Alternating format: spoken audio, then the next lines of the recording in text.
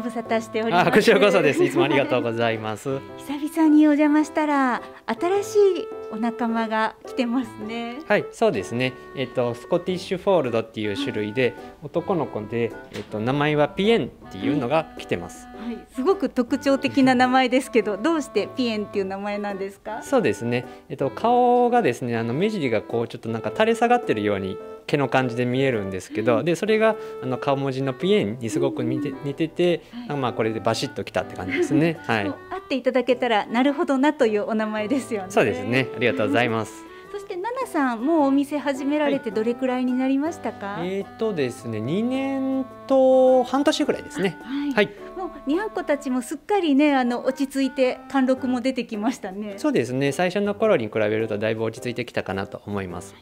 現在こちらでは、えー、猫ちゃん何匹いるんでしょうか？はい、全部でえっと7匹になります。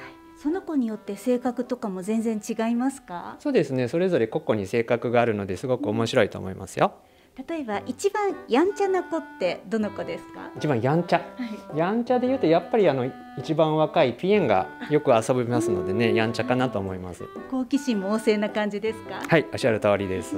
まあ先ほどあのおやつタイムちょっとさせていただいたんですけれども、はい結構みんなねあの集まってきてくれてましたけれども中でも一番食いしん坊って誰でしょうか？一番の食いしん坊はアメ車のももちゃんですかね。でまあ時点でえーっとさっきソマリのりんちゃん、はい。まあでもみんな好きなので結構うたちゃんもピエンもガツガツきますね。もう結構その時はもうわーってみんな 我先にと来てまたそれがまた可愛いですね。そうですね。もう膝の上なんかガンガン乗ってきますんで、すごく可愛いと思います。はい。こういう体験もこちらでさせていただけるんですよね。そうですね。一応ですね2時と4時の時間の限定にはなるんですが、えーっとおやつタイムっていうのを販売の形式でさせてもらってます。でちょっとそういった特別な触れ合いを楽しみたいという方はぜひおやつタイム狙ってきていただきたいですね。そうですね。お待ちしております。またあのご飯食べたりしている姿もとっても可愛いですよね。そうですね、えっと、時間帯的には11時過ぎに、えっと、朝ごはんとお昼ご飯兼のがございますのでそのあたりを狙われてあの来ていただくお客様もいらっしゃいます。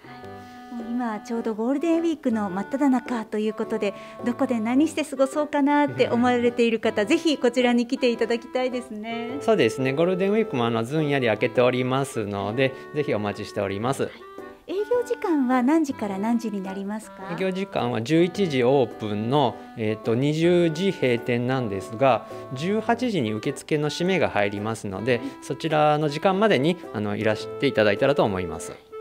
いつ来ても思うんですけれどもこうやってこうなんとなくこうのんびり過ごしている姿を見るだけでも癒されますよねそうですね。あのもう猫カフェの時間の過ごし方っていうのは基本自由ですので、にゃんこがあの嫌がることをおしてさしなかったらですね、何してもあの仕事しててもいいですし、はい。